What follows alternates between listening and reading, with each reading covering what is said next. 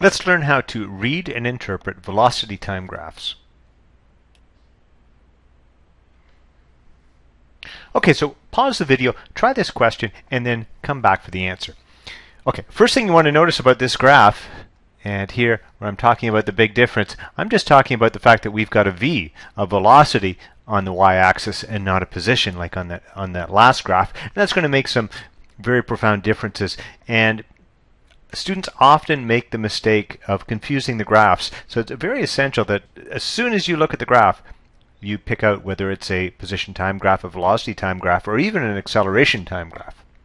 So in this particular graph, how what is the motion? Well, we know we've got a positive and constant velocity.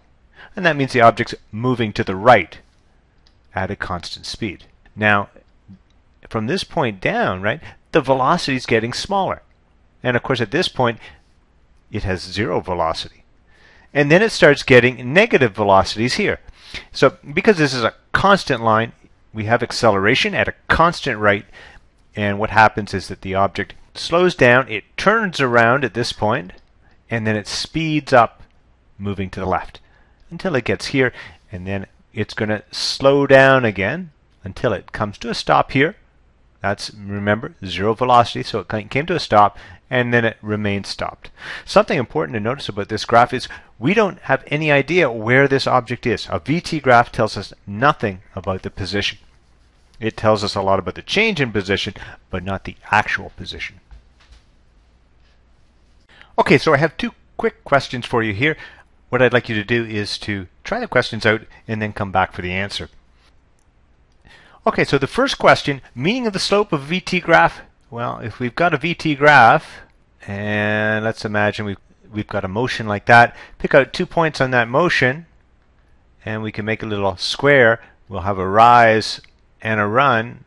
Of course, the rise is going to be the change in velocity, and the run will be the change in time, or the time interval. And since acceleration is equal to change in velocity all over change in time, and that is the rise over the run, and that's got to equal the slope. That means the slope is the acceleration.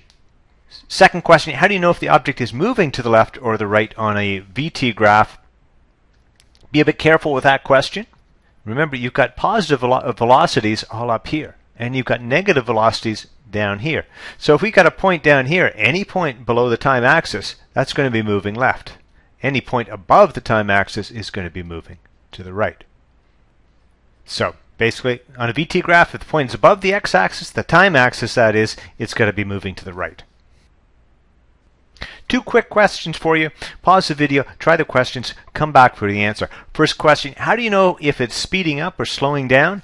Well, if you've got a VT graph, the farther away you are from this time axis, if you're way out here, that's much faster than in here. So this speed might be minus 40. This is minus 20. And then we might have plus 20 and plus 40. But basically, the closer you are to that time axis, the slower you're going. And the farther you are away, the faster you're going. It doesn't matter whether you're moving left or right. So if it's slowing down, the points get closer to the time axis. How do you know if the acceleration is to the left? Well, remember the acceleration was simply the slope. So if our slope is negative or positive, that tells us if it's moving left or right. Uh, negative slope would mean moving to the left. Okay, another one of these questions with, where we're filling out the table for each of the regions. This time we've got a VT graph, so the criteria are going to change. What I'd like you to do is pause the video, try the question, and come back for the answer. Okay, let's take a look at these one column at a time. So when we're looking for the significant constant of the motion on a VT graph, we'll only have two choices. We'll either have cases where we've got horizontal lines, which means your velocity is stuck at a certain value. So in region 1 and region 4, that's where we've got a constant velocity. And when we have diagonal lines, that's where we've got constant acceleration. Now, moving left or moving right, this time it's not the slope. You've got to look whether or not the points are above or below the axis. So these points in region 1 are below the axis, so it's left. Region 2 starts out to the left but moves to the right. region 3, those points are all to the right, and these points in region 4 are all to the right as well.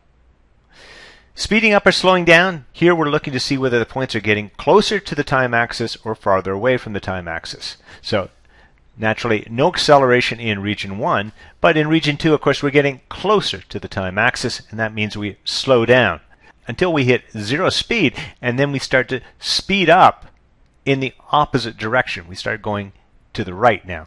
So it slows, then it speeds up.